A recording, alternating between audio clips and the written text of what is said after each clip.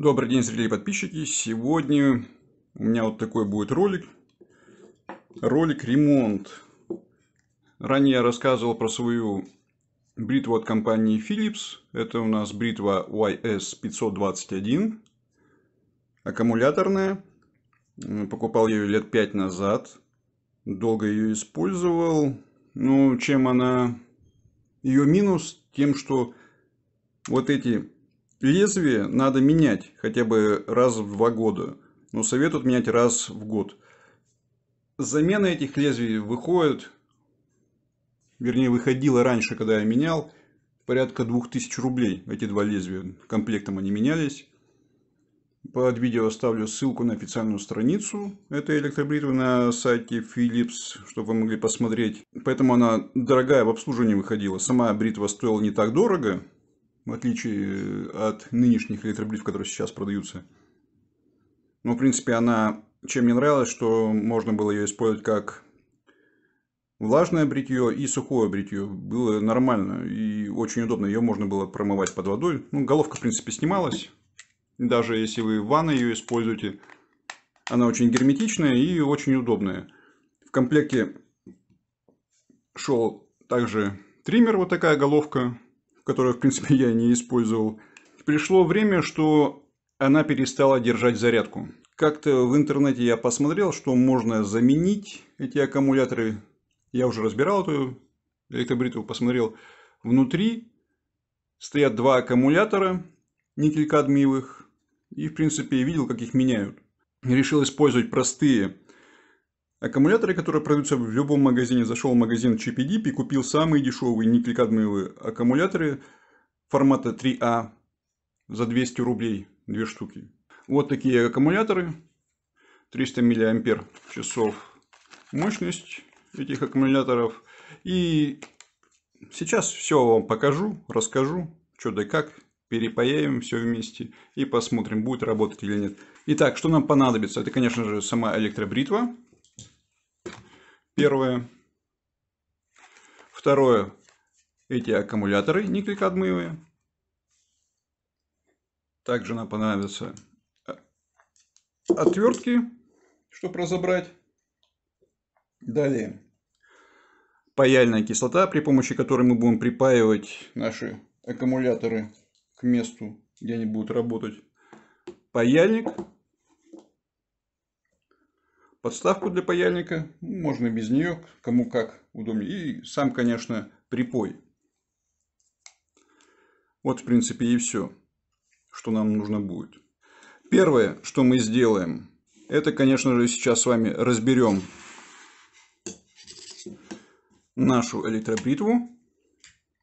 Она у нас закрыта на один винт. Винт здесь такой своеобразный, и поэтому не каждая отвертка к нему подойдет. Так, открываем. Самое интересное, что только один винт.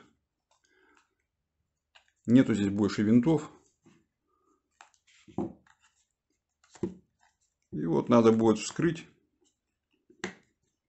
этот кожух. Это у нас просто прорезиненный защитный кожух. Сама же электробрита, вся начинка находится внутри, во втором кожухе. Вот в таком. Итак, его нам надо будет тоже сейчас достать. И вот расцепили наш кожух.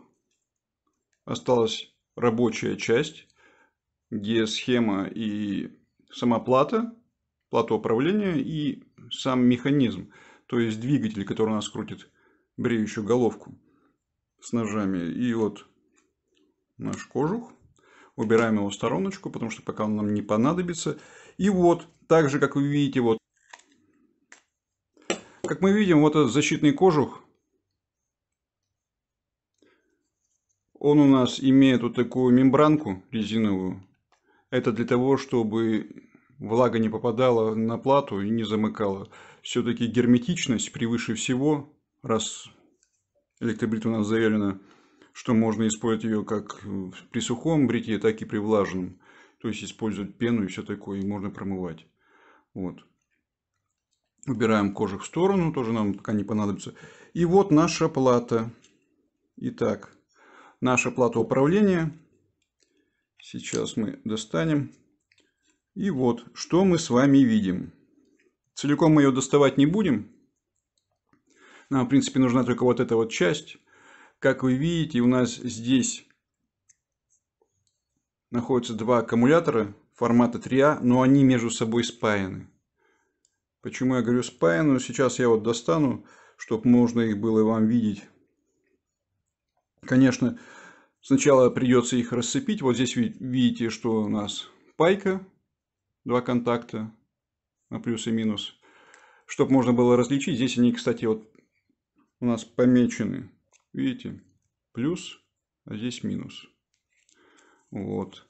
Это на всякий случай, чтобы мало ли вдруг, если вы достали, снова будете впаивать, и чтобы не перепутали, если вы забыли, как они у нас стояли.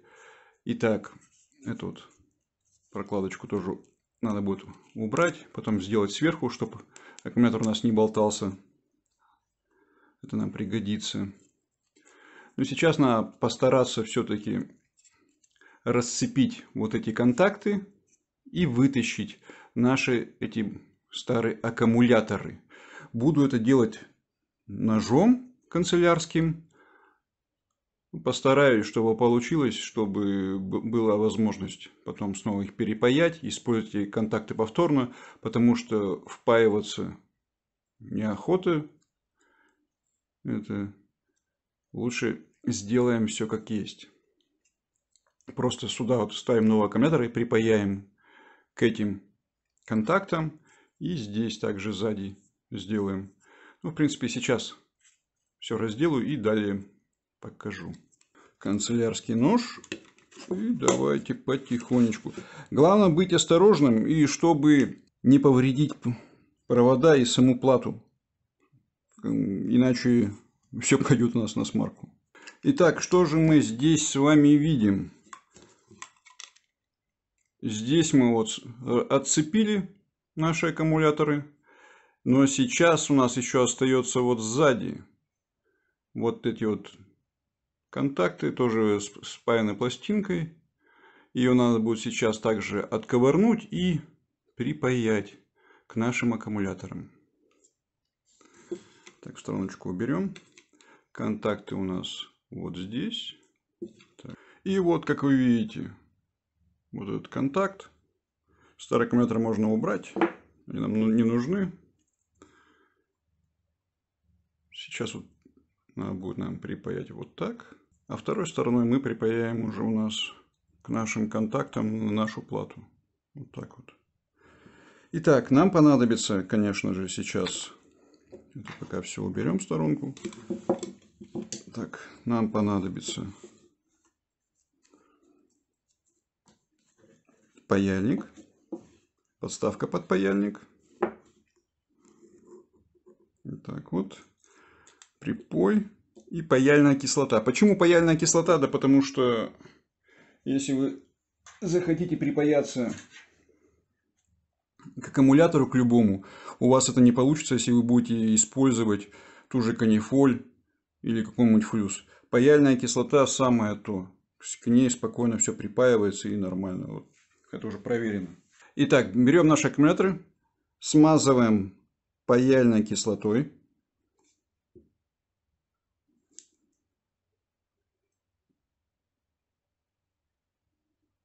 Смазываем то место, куда мы будем припаивать с вами. И вот сейчас нам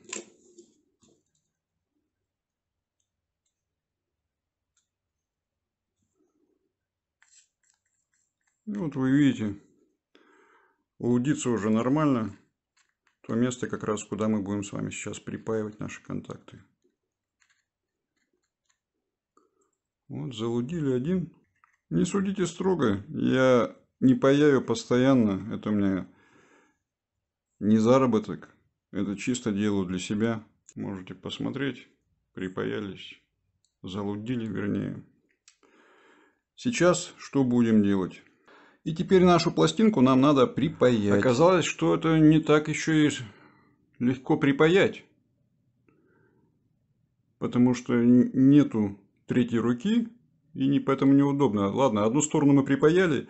Сейчас будем припаивать вторую сторону. Но там еще у нас получается сложнее. Надо припаять нам именно вот в этом месте. Понимаете? А это вот не так все легко и просто. Поэтому опять отключусь, уже включусь, когда будет все припаяно. Главное не перепутать местами. Вот у нас плюс, минус. И здесь вот. Как я говорил ранее, поэтому у нас получается с этой стороны надо ставить минус, а плюс у нас будет с этой стороны. Вот должно быть все вот так вот. Посмотрим, посмотрим. Сейчас припаяем, сделаем, и тогда уже будет видно, как у нас все это Итак, получится. я припаял. Ну, как уж получилось. Старался, конечно, но неудобно, просто неудобно там паять. И говорю вам сразу, если ролик в интернете увидите, кто-то там паяет 5 минут, там раз-раз припаялся, это все чухня. Даже используя паяльную кислоту, которая дает возможность припаяться к аккумулятору, неудобно одними руками, если у вас нет каких-то приспособлений, чтобы зажать эти вот аккумуляторы и припаиваться, припаивать вот эти перемычки к ним, это абсолютно неудобно. Просто ну, там, скорее всего, человек снимал подобный ролик, и он, конечно, отключался, там короткий ролик, и у него быстро все раз-раз получилось. Такого быть не может. Если вы не уверены в своих силах, лучше не старайтесь этого делать. Сейчас мы вот припаялись и посмотрим, работает она у нас сейчас или не работает. Мне вот просто самому вот интересно, что же у нас получилось из вот этого. Здесь вот стоит у нас кнопка. Аккумулятор, конечно, разряженный, но, как видите, он моргает. Значит, питание есть. Попробуем его подзарядить. Ну, сначала мы, конечно же, его соберем и потом подзарядим. Вот он у нас полностью собран, вот электробритва. Осталось закрутить только последний винт.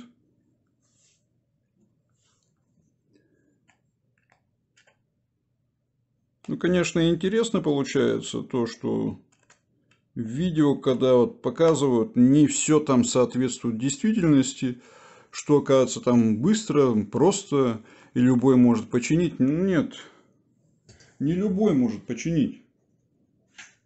Потому что пайка это очень неудобно, если у вас нету соответствующих приспособлений, соответствующих инструментов. Обычным автомобильным паяльником вы точно припаять не сможете, потому что он просто туда не подлезет, чтобы можно было припаяться.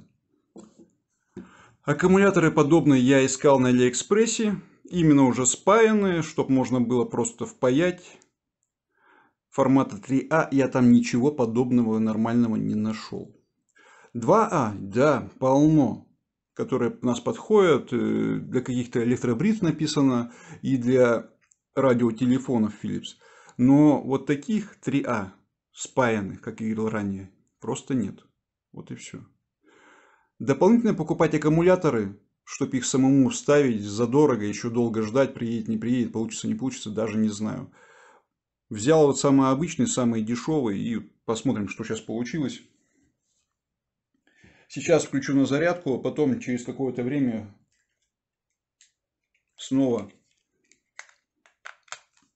включусь, чтобы вы могли заценить, получилось или нет. Раньше аккумулятор у меня вообще практически не держал, хватало его на минуту после часа зарядки. Хотя должно быть после зарядки его хватать на 40 минут работы. Вот сейчас засечем. Время сейчас у нас 13.49. Включу Через Итак, час. мы видим сейчас уже 14.37. Я час не выдержал. Заряжается, как вы видите. Раньше он вроде бы заряжался, но надолго не хватало. Сейчас мы проверим.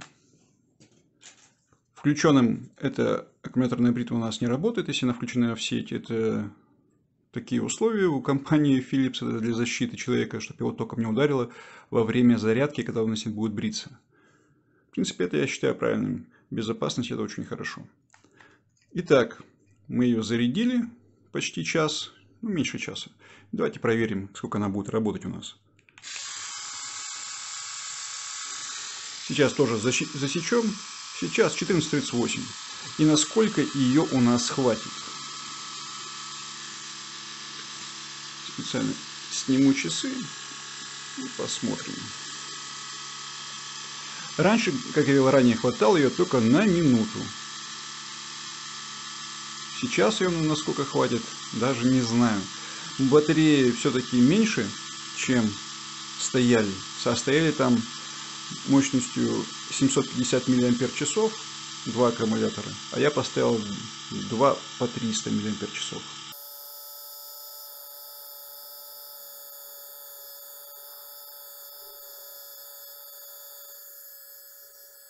Ну и работает достаточно громко, в отличие от того, что было. Тогда работало, знаете, как, как будто аккумулятор садится, и она начинает немного так, с надрывами работать. Вот такая у меня была работа. Сейчас же, я думаю, все у нас нормально должно быть.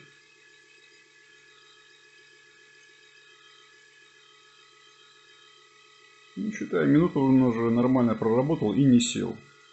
И еще была такая фишка, что вроде бы работает, но если ты его выключишь, второй раз он уже не включится.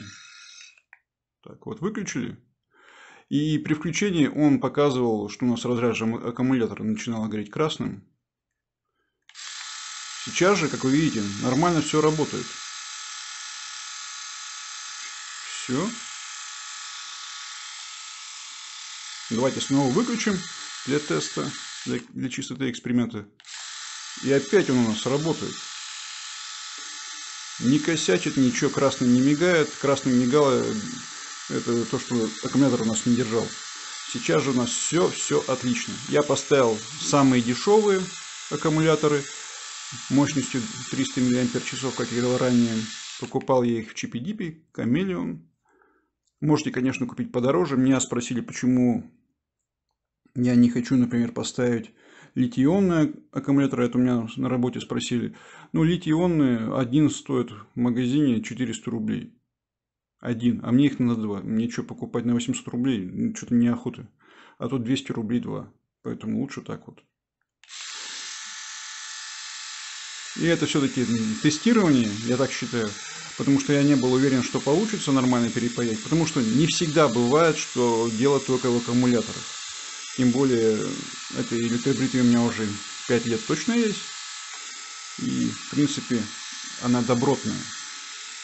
Ну, в принципе, все бритвы Philips хорошие тем, что они до сих пор выпускаются в Голландии, а не в Китае. Я считаю, что все-таки европейская сборка получше, чем китайская. Вот так вот.